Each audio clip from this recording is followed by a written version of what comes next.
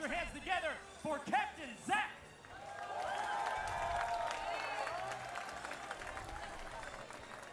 Ooh. Ooh!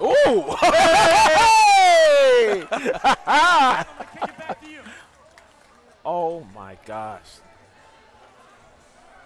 All right, let me tell you something right now, man. If Talk to me, man. If, Talk Cap- to me. Captain Zack entered the cosplay contest, I would have gave him first Free. place. Oh, without a doubt. Definitely. Without a doubt. That Write that check myself.